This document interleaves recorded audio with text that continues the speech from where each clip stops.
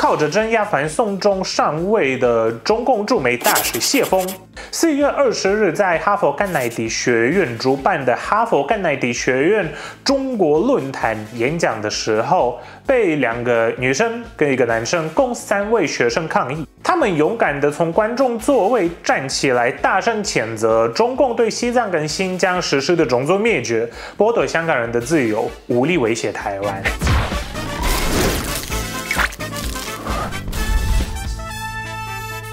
新闻硬邦邦，听新闻最爽。我是节目主持人斯坦，欢迎各位收看。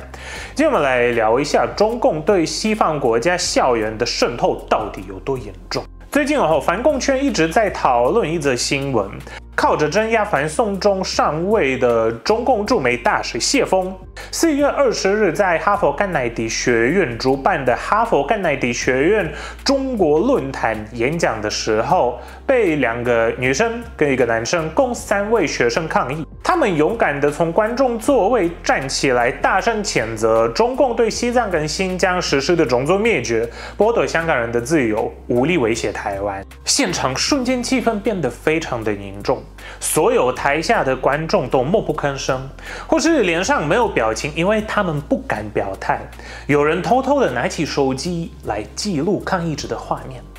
但是也有一位中国留学生露馅，叫做周鸿基（肯德基）的一个北京小粉红，他强硬的将抗议的台裔女学生从抗议现场拖走，这不禁是让人想起那一些在海外帮助中共政权追捕、绑架异议人士的海外一零。没想到在哈佛这种名校、学术的殿堂，却看到中共的青年小粉红自愿成为国家机器的打手，在民主自由。有的美国对抗议学生如此粗暴的动手，周鸿基也被人发现。虽然他在网络上自己称自己是一个世界发展论坛创办人兼论坛哈佛联合主席，但实际上他并不是。这很中国，也很中二，而且他的专业是国际政治经济。哎，把国际关系可以读成中国大外宣，也是很不简单的哦。事后，那两位抗议的女孩接受媒体采访说，她们是因为无法接受谢凤在自由的美国大学校园里面还能宣扬跟美化中国独裁政府，才去抗议的。Unacceptable for Harvard to invite somebody who represents a genocidal government who is personally responsible for overseeing. Um, you know everything that happened in Hong Kong，并且在被一个中国学生周鸿基肯德基粗暴的拖走之后。他们也感觉到非常的害怕，跟担心自己的人身安全。华裔加拿大记者盛学在 X 平台，也就是推特上有批评哈佛甘乃迪学院长久以来的陋习，就是与中共几十年来合作培育各领域的接班人。过去哈佛大学与中共有许多合作项目，像是一九九六年到现在，至少培育了一千人。学院甚至还被戏称为中共中央第二党校。他表示，谢峰当然是中共跟习近平的传声筒，他不可能表达不同的立场。而哈佛大学跟甘乃迪学院则应该有基本的是非道德原则。这几年，许多关于中共间谍学生或是把自己看成海外警察的行为不断的出现。这也再次打脸了过去数十年的绥靖主义的一个论述，以为只要给予经济发展、学术接触，就能够改变中共的独裁专制。其实多年来，大家都非常清楚，这些能就读欧美名牌大学的中国学生们，往往都是中共体制中的既得利益者，或是经过中共的精挑细选的学生。除了本次事件的周鸿基、肯德基之外，最近一位就读美国伯克莱音乐学院的二十六岁的中国学生吴孝磊，被美国法院陪审团裁决，他是一个网络跟踪犯跟跨州传播威胁信息犯。这个姓吴的学生在二零二二年对另外一位就读同一个学院、抗议中共独裁的中国学生发出暴力伤害的威胁，同时恐吓要向公安举报。美国检察官表示，吴孝磊的具体行动可能不是在中共当局的指导下采取的，但是呢，他仍然把自己看成中共审查跟镇压网络的一部分。像这样的人际网络深入美国，在美国华人与中国家人的关系网之间，而中国公安也真的多次登门骚扰被害者在中国的父亲。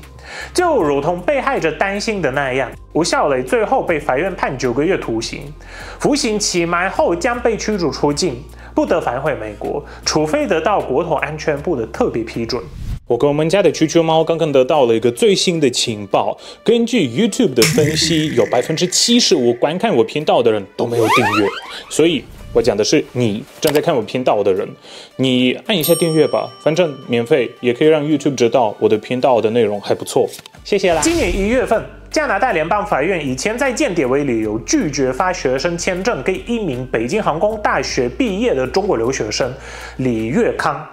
而他毕业的北京航空大学是中共所谓的国防七子。这所学校与中国军方关系密切，也是美国制裁学校的名单之一。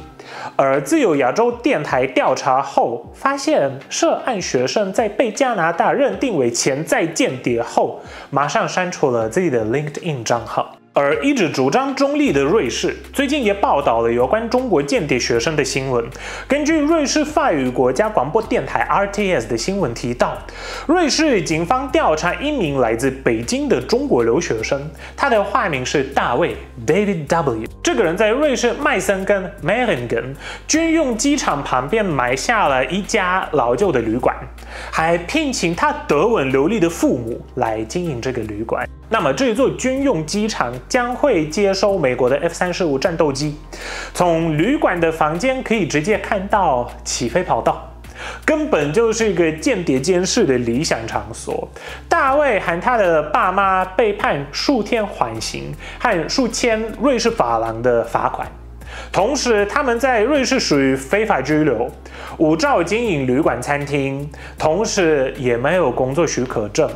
而这个大卫哦是一个非常神秘的人哦，他在社交网络上的存在被清理，照片被删除，几乎所有的朋友关系都被删除。目前这一家人已经离开，下落不明。另外，中共对于自己国内的异议分子，同时也不断的进行打压跟骚扰。美国华府人权组织中国人权捍卫者 （Chinese Human Rights Defenders） 四月十五日最新调查报告表示，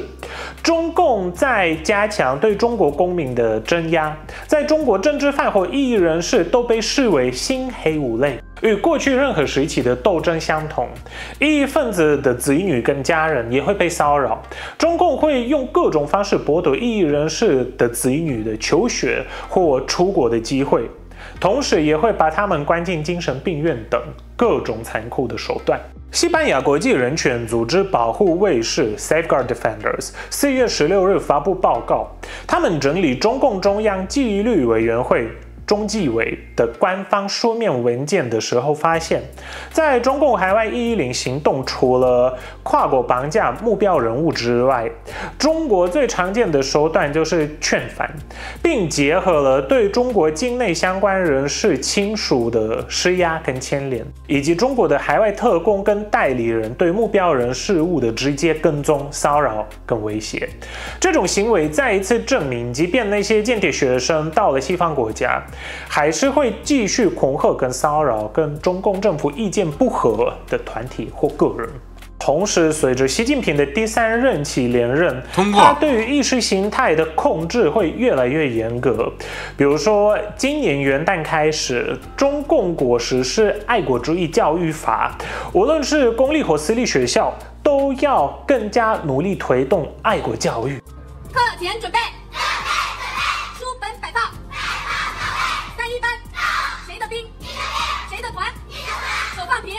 就算是在中国的外国私立学校，也都必须要参与。习近平被白纸革命跟香港反送中运动的年轻人反抗最前线震惊了，所以感觉必须在意识形态上打造出更爱国的中国年轻人。避免他们未来去挑战共产党跟习的权利。除此之外，每年四月十五日更要强调庆祝全民国家安全教育日。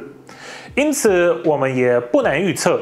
未来会到国外求学，同时带有任务的中国学生的比例会越来越高。